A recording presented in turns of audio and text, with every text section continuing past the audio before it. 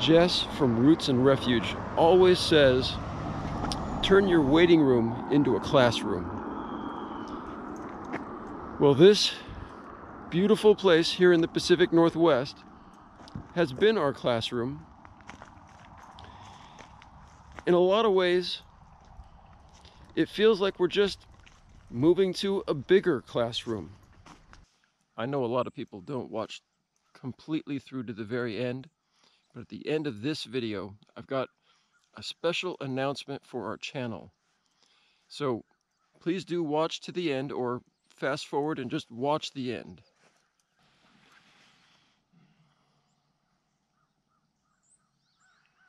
What a beautiful morning. The fish were jumping in the pond. Deer were running through our yard. I know folks out there have been praying that we would find just the right property for our new homestead. I feel blessed to have found this place. It feels to me that we were led here for a purpose and at just the right time. Are you ready to see the new place?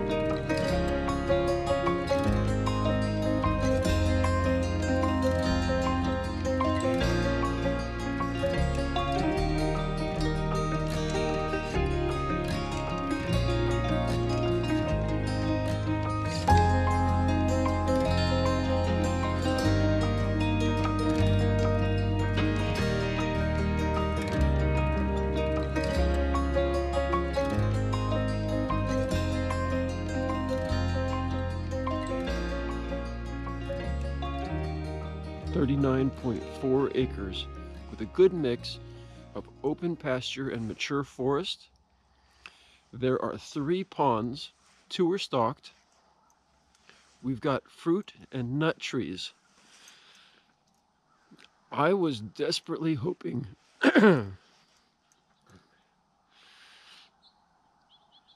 I was desperately hoping to be seduced by the beauty of a place, and my dreams have been exceeded. Right now, because we're moving, the place is pretty much a disaster. So I can't show anything on camera, but if you're curious, you can check out the video of us first looking at this place. The livable house was built in 1980, but there's still a sense of history here because the abandoned structures of the original homestead are still standing. I don't know if this place would have been your first choice, but it definitely was for us. There were some other good places to choose from.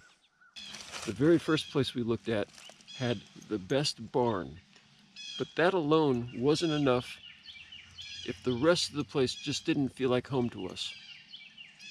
Several of the places had full or nearly full wraparound porches.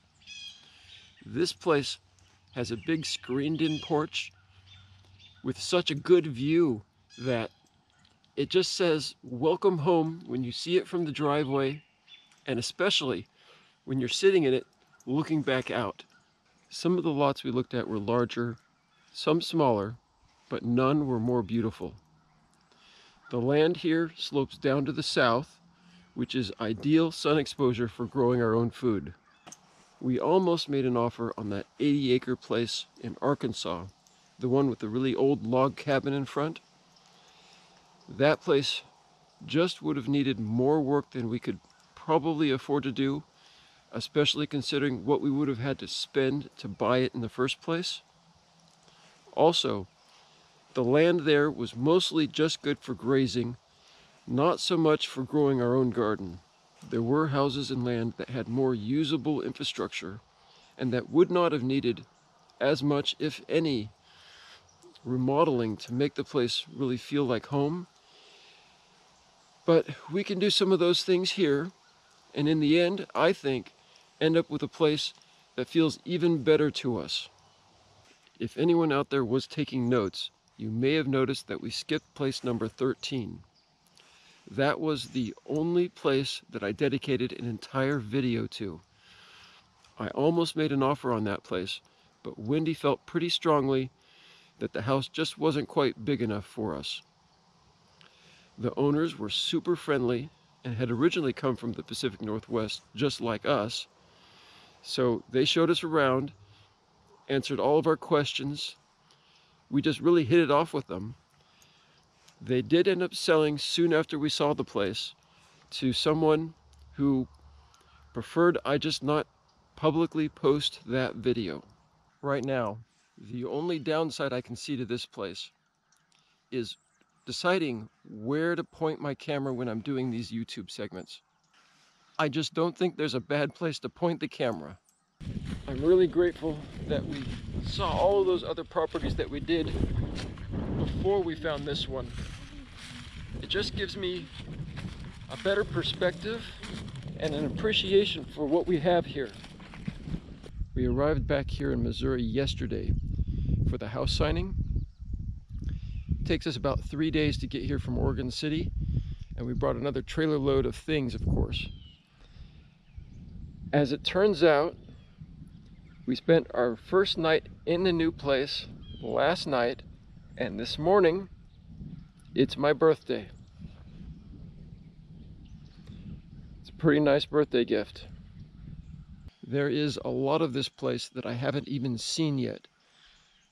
A lot of land to explore. We have some ideas about what we want to do with the place and how we're going to use different animals in different areas. I look forward to sharing that with you in future videos. It'll take us a while to settle in and uh, we're going to start slow. So there's a lot of good stuff coming down the road. This trip out here to Missouri is just a quick one. We're not here to stay yet. We still have to go back to Oregon City and get that place ready to sell. We're taking care of a few things while we're out here. Besides buying the house, we're also going to open a bank account and get insurance. The top thing on the list, though, is getting goat enclosures, temporary goat enclosures ready. This area will be for our does. Just use some new cattle panels and T-posts and a new gate.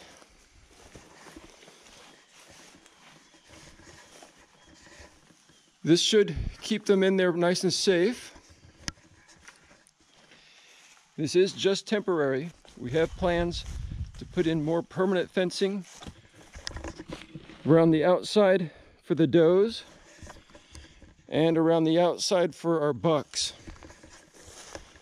So they have a little bit more access to grass and browsing opportunities. We don't have quite as much room in here for the bucks, but we don't have as many of them. When we do put in the more permanent fencing, we'll probably use these new gates somewhere along that perimeter. Obviously, we want the goats to have free access to the shelter and to be outside when they want.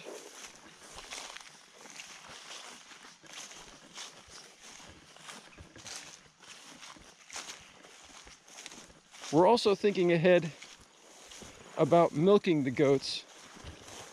We'd like to set up a building of some sort for milking to stay dry and real close by to where the goats are going to be.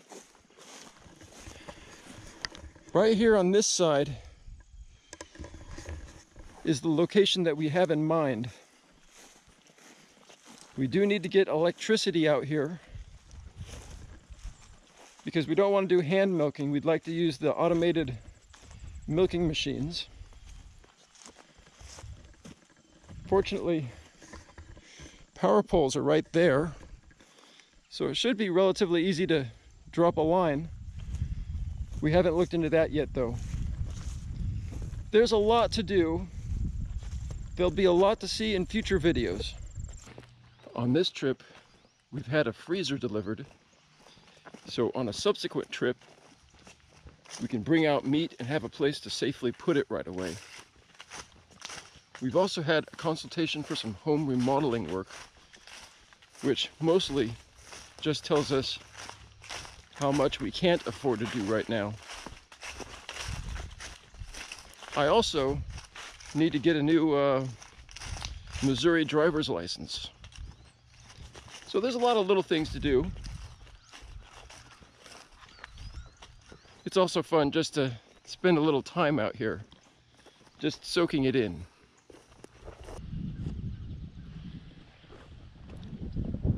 I know Wendy would say the same thing. It'd be nice to just be able to stay here this time. But there's things we gotta do. We brought the extra refrigerator from our old garage with us on this trip, just so we'd have a refrigerator here that we can work with. Whether or not we bring out that extra freezer from our old place depends on negotiations with the new buyer. There is room for a second extra freezer out here. I've been asked what my very first project will be out here. I'm assuming you don't count just moving boxes into the house, and that was a project, let me tell you, and it's not done yet. Right above the fridge and off to the side was a cabinet and a kick sideboard that just made the space that that did have a refrigerator a little too small for the standard size. So Wendy asked me to remove that cabinet. We'll have more room for a regular size fridge we need to get a refrigerator anyway, so we might as well get one that's big enough for us. Besides that, it is early fall out here, and there is just a super abundance of nut trees, particularly walnuts. I cannot count how many walnut trees we have. This bucket is just one of about six that I collected just around a couple of trees. I don't have any more buckets. I don't know what we're going to do with all these walnuts. Right here in the front yard, We have a really big persimmon tree. And that one right there is a pecan tree.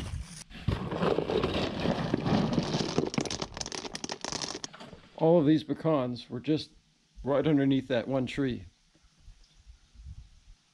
Ivy Acres Homestead is back in Oregon City. We decided since we're doing a, a real restart with our lives that we'd do a restart with our channel. We've decided on a new name. We picked one that reflects the tranquility and peace that we hope to find at this new place for ourselves. Welcome to Simple Moon Farm.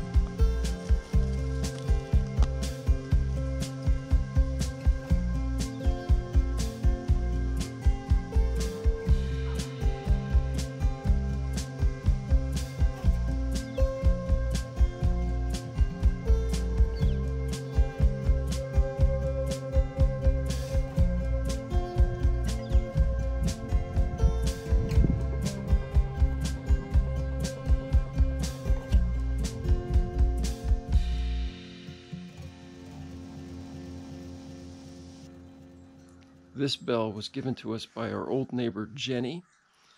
It's our first official housewarming gift here at the new place. I've got good news to share. You are more capable than you probably know. Your dreams are closer than the moon. Thank you very much for taking this trip around the moon with us.